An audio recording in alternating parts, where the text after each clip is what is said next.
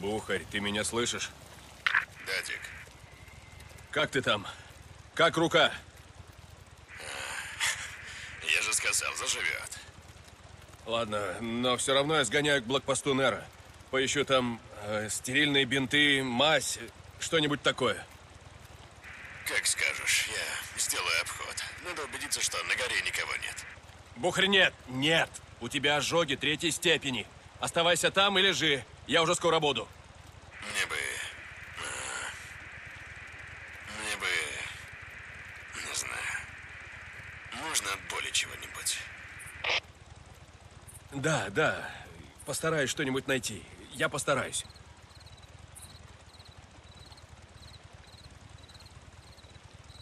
Сент-Джон, это Коуп. У меня радиосигнал пропал. Когда доберешься до вышки, восстанови связь. Я заплачу. Так эти люди, ты их знаешь? Прервать вещание свободного Орегона – это похоже на месть. А знаешь, ты угадал. Они были в моем лагере. Но им, видно, не по нраву был запрет на воровство, насилие и убийство. А может, они просто, как и я, устали слушать твою параноидальную чушь? Отбой. Ну, отбой так отбой, а мы-то с вами продолжаем. И это вторая часть ознакомления с игрой Days Gone. Приветствую всех на канале Erzone Game. Давайте посмотрим, что это за игра, с чем ее надо есть. Первые минуты посещения в этой игре на самом деле мне не очень понравилось. Э, игра какая-то странная. Э, дело еще в том, что вот э, на данный момент я сам для себя уже во второй раз перепрохожу игру Red Dead Redemption 2 которая мне очень нравится. Просто я балдею от этой игры. Открытый мир, э, свобода действий, ну, естественно, ограниченная э, свобода действий, но тем не менее.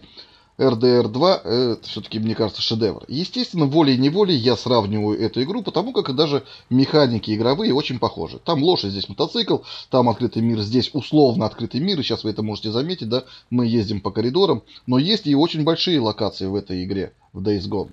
В отличие, конечно же, от RDR 2 где действительно открытый мир. Здесь же он такой, условно открытый. Ну и этот мир не интересен. Вот он, блокпост Неро. Надо найти медикаменты для Бухаря. И, в общем-то, вот такими вот вещами, как вот э, нахождение вот таких вот блокпостов Нера, э, выполнением заданий и зачисткой гнезд, которых я уже показывал в первой серии, ну, еще мы, наверное, что-нибудь позачищаем здесь, э, тут и надо заниматься. Как я сказал, мир неинтересный. Вот его, в отличие от того же RDR2, изучать неинтересно. Э, во-первых, мешают зомби, они везде здесь, абсолютно везде. Очень редкое место, где их нету. Так они один, два, три, но все равно где-то будет ходить рычать. То есть так просто побродить и что-то поизучать здесь не получится. Ну и основная задача это вот. Э, нам надо отыскать вот такой блокпост, завести генератор. У каждого блокпоста будет стоять генератор. Но они всегда будут без топлива. Поэтому нужно будет найти топливо. Обезвреживаем всех, кто рядом ходит. Обычно их ходит немного. Но они, э, эти блокпосты, они абсолютно разные. На каких-то 2-3 зомбака шляются, а на каких-то и действительно огромная куча ходит. Плюс еще нужно обязательно обезвреживать вот такие вот громкоговорители. Когда вы запускаете генератор, эти громкоговорители начинают вещать о том, что надо сюда сойтись, там, ну и в общем зомби сбегаются на этот шум. Обязательно сначала надо оббежать и найти все вот эти громкоговорители и срезать их. Также для лута здесь есть машины. В основном машины эти это вот э, полицейские, там мы находим патроны, э, скорая помощь, там мы находим аптечки. И эвакуаторы, тут мы находим бензин.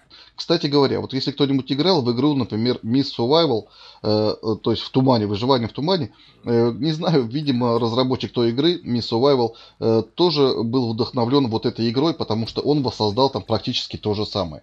Точно так же разбросаны машины, э, даже локации очень похожи на игру Miss Survival. Э, далее мы заправляем. Лучше заправить еще и мотоцикл, потому что такого, как э, инвентарь, здесь в принципе нету. Я не знаю, может быть в дальнейшем у мотоцикла появятся кофры, и туда можно будет что-нибудь складывать. Но на данный момент вот мы взяли канистру, э, и надо ее потратить сразу же на месте, потому что взять ее с собой нельзя. Ну ладно, мы заправили мотоцикл, заправили генератор, все, данный пост активировался. Теперь мы сюда заходим, и это как э, чекпоинт. Э, то есть точка отсчета, да. Здесь можно сохраняться. Ну, вообще здесь сохранение происходит возле мотоцикла. Подходим к мотоциклу, нажимаем кнопку R и идет сохранение. Но вот такие вот посты, которые мы э, запитали током, они как бы становятся таким вот неким чекпоинтом, куда мы можем зайти, там, э, пополнить свое здоровье, пополнить боеприпасы, ну или переночевать. Здесь можно ночевать, потому что основная масса зомбей ходит ночами. Ну, а мы, естественно, хотим бегать днем, поэтому здесь надо ночевать. Еще одна из фишек вот таких вот постов, можно найти вот такой вот инъектор, который, как вы можете заметить, может повысить вам три каких-нибудь уровня. Я все время прокачиваю, ну, по крайней мере, пока прокачиваю здоровье. То есть нажимаем на букву Е и делаем себе инъекцию. Пополняем тем самым плюс, по-моему, 25 единиц, да, 25 единиц сверху к здоровью. Ну и вот мы выполнили одно из заданий, нашли лекарство для нашего друга. Э, в общем-то, можно отправляться дальше в путь. А можно переночевать. Я решил поехать в ночь. Ну, просто для того, чтобы посмотреть, что здесь будет ночью. Ночью можно увидеть Орду, так называемую. Это когда много зомбей бежит кучей прямо. Но они бывают только ночью. Они обычно днем прячутся в пещерах. Тоже такой отсыл к э, фильму «Я легенда», наверное. Где тоже зомби, очень, кстати, похожи по поведению на зомбей вот этих вот, прятались в темноте днем и только ночью выходили. Э, надо отметить, заметить, что очень прикольно сделана э, сама механика вождения на мотоцикле. Мне не понравилась скорость, скорости здесь практически нету. А вот, кстати, животные, которые попадаются здесь тоже. А вот как он едет, э, вся физика вождения мотоцикла очень прикольно. Кстати, зомбей можно сбивать, но это можно делать не очень много. И может получиться и вот так вот. Ну, не зомби меня сбил, а волк, который здесь тоже бегают. Волки, олени, еще какие-то есть зубастики, которых я еще не рассмотрел. Но точно так же вас может сбить с мотоцикла и зомби. То есть э, постоянно давить их тоже не получится. Э, это все к тому, что, вот я говорю, мир не очень интересен, потому что, ну, э, редкий момент, когда вы можете э, слезть с мотоцикла и куда-то пойти в мир, посмотреть что-нибудь здесь вокруг. Он очень скучный мир. Здесь, в общем-то, и смотреть не на что. Да и зомби вам э, этого сделать не дадут. И вот, кстати, по аналогии с RD, RDR2 э, можно также, как видите, и разделывать тушки. Ну, правда, такой красивой э, анимации, как в RDR, нету. Ну, здесь тоже есть анимация, но только она закрытая. И, после того, как мы э, типа что-то сделали с волком, волк так и остается лежать. А в RDR, да, там лежит просто тушка разделана. Ну, а здесь просто на волке появляется пятно крови и, в общем-то, все. Ну, вернемся к мотоциклу, потому что вот именно мотоцикл-то мне и понравилось, как сделано. Действительно, если вы когда-нибудь ездили на двухколесной технике, э, вы поймете, о чем я говорю. Э, мотоцикл действительно имеет свой вес. Вот когда вы едете на мотоцикле, а он здесь ездит очень медленно, кстати, его надо постоянно чинить, и топливо кончается просто, ну, просто неимоверно быстро. Э, не знаю, может быть, в дальнейшем, когда прокачаем мотоцикл, это все изменится, но вот на данный момент и топливо, и мотоцикл ломаются очень быстро. Э, вот само поведение мотоцикла, так как ведет себя персонаж на мотоцикле, прямо ощущается вот э, его именно вес мотоцикла. Э, он прикольно. Иногда, правда, колеса проваливаются слишком глубоко в текстурке, такие вот есть нелепости. Но мотоцикл сделал, вождение мотоцикла в игре очень прикольно сделано. И вот как он перевешивает мотоцикл вправо-влево, когда потихонечку едешь. Если кто-нибудь ездил, например, на чопере, да, тяжелый мотоцикл э, большой, вот он ведет себя примерно так же, если ехать на небольшой скорости. Прикольно сделано. Но скоростей в этой игре нету. К сожалению, нету. И когда мы вот таким вот образом сбиваем э, этих зомбей, мотоцикл тоже страдает. То есть э, невозможно ездить и постоянно их дубасить.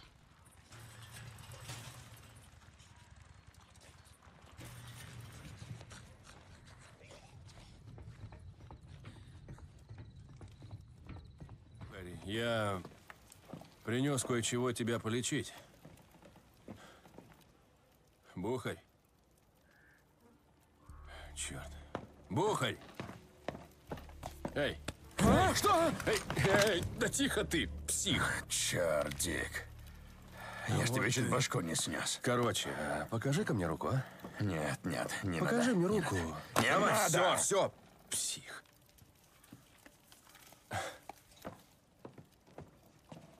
Дик. Спасибо. Я это поправлюсь. Все заживет.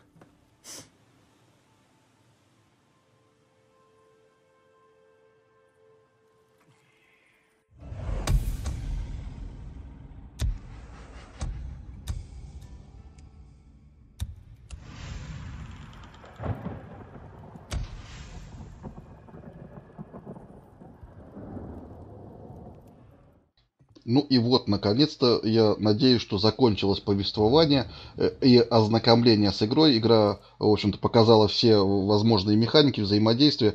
Э, очень надеюсь, что на этом все диалоги, по крайней мере, большая их часть, то, что я посмотрел и в первой серии показал, и вот сейчас, очень много диалогов, очень много кат-сцен. Очень надеюсь, что все они сейчас закончились, и уже можно переходить непосредственно к геймплею. Но это э, мы уже увидим, наверное, в следующей серии. А на этом спасибо всем, кто посмотрел. Всего вам доброго и увидимся в следующей серии.